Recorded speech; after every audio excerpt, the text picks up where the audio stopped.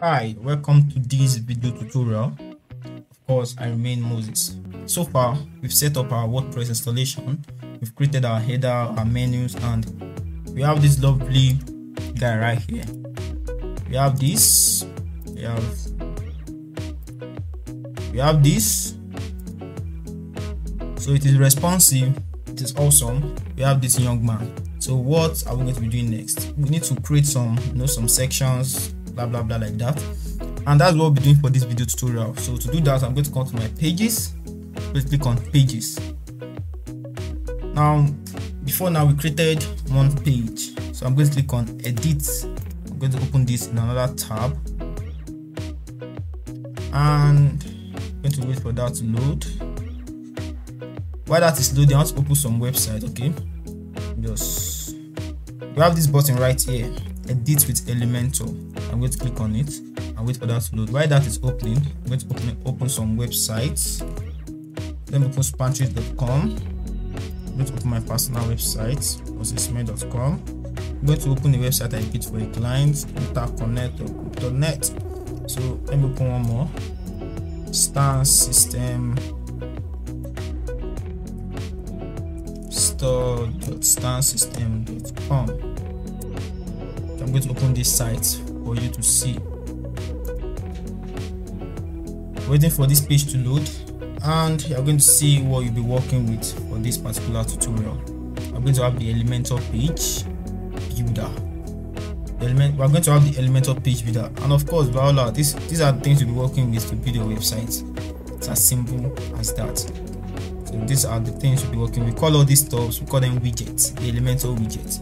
So today we'll be discussing about the hero section of a website.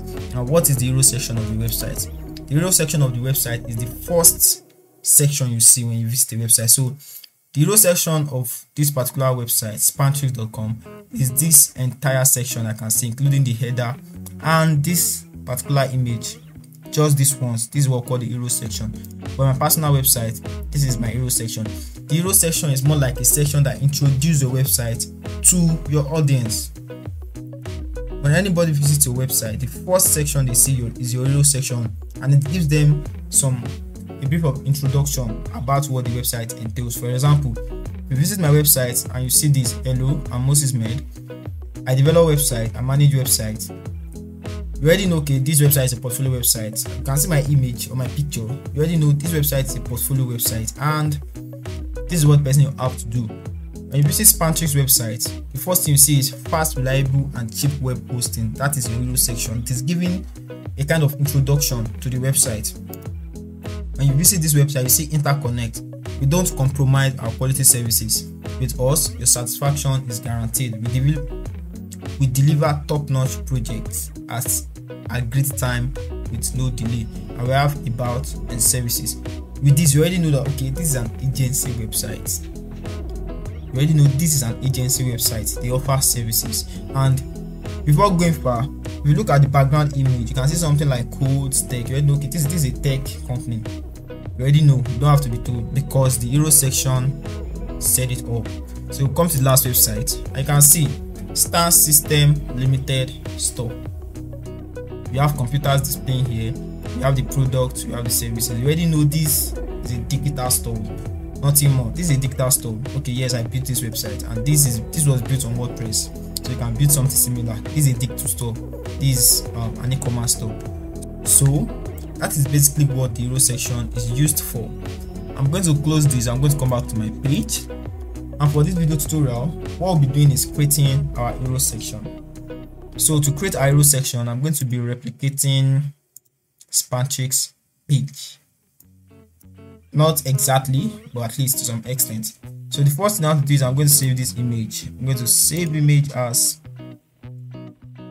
I'm going, to, I'm going to download the image. I think this image is in webp so i'm going to convert it to png to come back to my downloads. And this is WebP. So I'm just going to leave it like that. I'm going to, I don't know if it is supported on WordPress currently, but it should. I'm going to come back to my home page. I'm going to drag this here. And to replicate this, if you look, if you look at this, you notice we have two columns, one column and another column. the first column contains one two three four. Contains four rows. And second column is just one column. So that is what we'll be doing. I'm going to click on this plus button.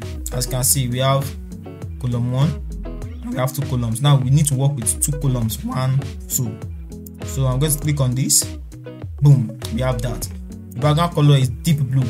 The first thing i have do immediately i create a section is to click on this particular icon here. I'm going to click on it. Come to advanced. We already explained what padding and margin is to you so there's no point in going over it again.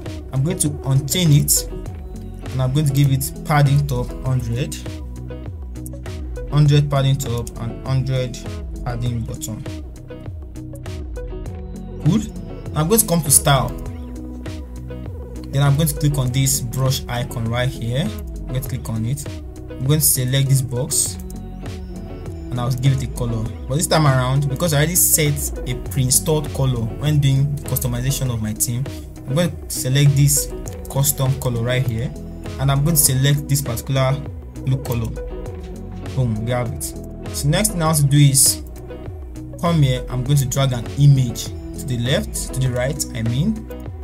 I'm going to select it going to come to upload files I'm going to upload the Spantrix image I downloaded. Mm, mm, mm, okay? And i'm going to click on insert media. Vowler. we have this guy. So the next thing i'll be doing is putting all these text together. So we have the fast reliable and cheap web host. So that that should be our heading definitely. So i'm going to drag in the heading tag we have fast reliable and cheap web hosting. Okay? Fast reliable and cheap web posting so i'm going to come to style. I want the color to be pure white. Pure white. I'm going to select this family. This is the font family. We'll be working with poppins as i said. Work with one pop one work with one um font on your website. So the size this is looking pretty big. I'm going to give this 30 no a 50 a 40 a 45 past um, instead of 45 I'm going to give it a 40 by 42 so I'm going to reduce this color to something like a light blue not pure white light blue something like this.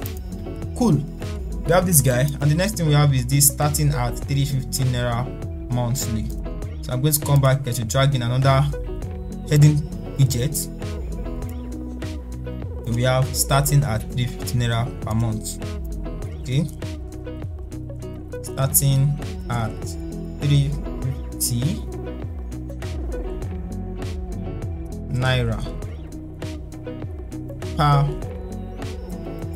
month. So we have this guy i'm going to come to style. I'm also going to make this off white not pure white. I'm going to make it off white. Cool. I'm going to click on typography. This also should be poppins poppins and i'm going to work on the weight. Look at the weight here. It is pretty thin i'm going to come i'm going to select the weight to be 300 perfect. As you can see. So that's all. We have this guy.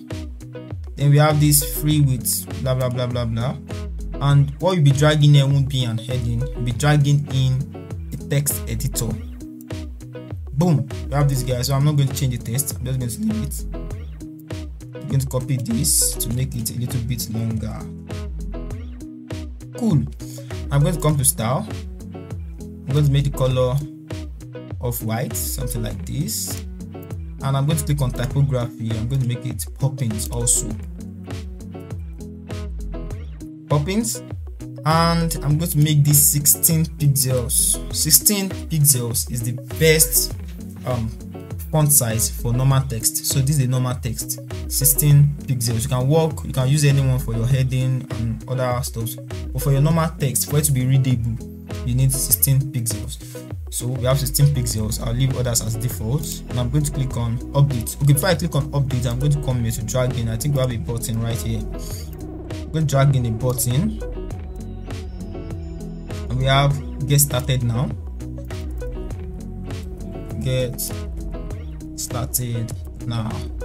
So i don't have to add any link. I'm going to come to style now the first thing i want to work on is the background color.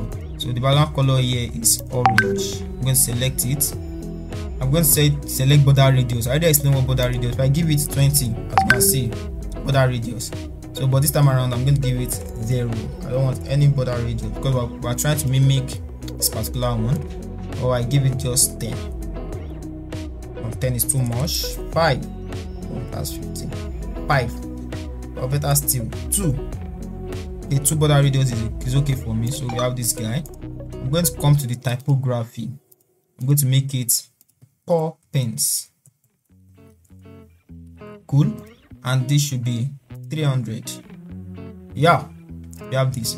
Now when i hover over this as you can see so i'm going to do that same setting for us here. So i'm going to come to hover. For hover i don't want any background color. I want it to be like this but then i want it to have a border color a border type of solid and i want the border color to be orange. As you can see and I want it to be one yeah border color orange. So on normal for the normal um text border color can be orange too and give it orange. Can give it orange so we'll come back to hover so I want border I don't want any background color so all I did was drag this down to move the color. Drag this down remove the background color then border color I gave it orange. Then text color should be pure white. Even for the normal should be pure white.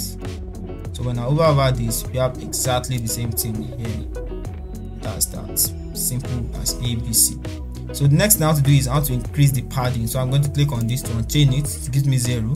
I want padding top to be 20 padding bottom 20 oh this is too much. Let me make it 15 15 15 and top um right left should be I give it 30 30 so we have this guy. Now we have this but if you look at this you notice this guy is a little bit too up compared to the image so what you want to do is to make it centered so i'm going to click on this column icon right here I'm going to click on it. I'm going to click on vertical align. I'm going to select it. I'm going to select middle. That's that. I'm going to click on update. And to see my website in action, you see this little icon right here, preview changes. So I'm going to click on preview changes. This will open up another tab for me to see what I've built so far. So I'm going to wait for that to load. And voila, we built an hero section in less than 5 or 10 minutes. We built an hero section. And this is that for building an hero section. You can build anything you want but because you are just starting we'll be mimicking some design so we have this. This is straightforward. This is very simple straightforward and simple. Now if you come to the tablet mode. Come to the tablet mode. I'm going to select um, pixels. I'm going to reload this. You notice it is not displaying well. This is still displaying well to some extent but that's what we call mobile responsiveness. So i'm going to come back here to do the mobile responsiveness of my website and i said mo mobile responsiveness is setting your website to display well on mobile also on desktop. So i'm going to click on this icon right here responsive mode. Go click on it. I'm going to select tablet. This is not looking good for me so i'm going to select this column. So for tablet i want this column to be 100 percent to take over the entire screen. Also this column 100 percent. Cool and this is there's no space right here. That's what mobile responsiveness stands for to make it breathe on mobile. So i'm going to select the entire section. I'm going to come to style advanced entire section advanced. And i want to select this guy right here. I'm going to undo it. I'm going to give it padding top of 100 padding bottom of 100 then right left I'm going to give it 30 30 so the space I think this is cool for me. Oh, this is 1000. I think this is cool for me for the um for the tablet mode. I'm going to click on update. I'm going to select mobile, the small phone. I'm going to come to this column, this section also. I'm going to undo this. I'm going to give it 80 top, 80 bottom. Oh, sorry, 80 bottom, and 10 10 right and left. So this is looking too big for me. I'm going to come back here. I'm going to make this 30 or better still 25 let's make it 30 i'm going to make it 30 i'm going to make this something like 18 or better still 20 cool. I'm going to leave this at 16 I'm going to leave this as this and I'm going to give this some margin top to close. Now when Mr. Master Beast was teaching on WordPress CSS he made mention of all these things so this is why we took the theoretical aspect first was so that you get familiarized on time. So I'm going to give this a margin top of 30 better still 50 so this is cool for me. I'm going to click on update and I'm going to come back here to reload this particular page to see if our website is mobile responsive. Cool. Sepinin, we have this. Cool like this awesome. We have our menu. Can close it and select the ipad mode. Also displaying well and also displaying well on desktop as you can see we just finished creating our hero section in less than 10 minutes. This is what the hero section does and this is how to create an hero section. Very simple straightforward. You understand? You can create any hero section of your choice. I just mimic this. I copy this. And you can use this. You can use this. You can use mine. You can use this. You can use this. But this this might look a little bit advanced to you but this is straightforward this is simple actually. But later on you get used to creating this kind of hero sections with time. So this is where we're going to stop for this video tutorial. And of course i remain moses. I'm going to see you in the next tutorial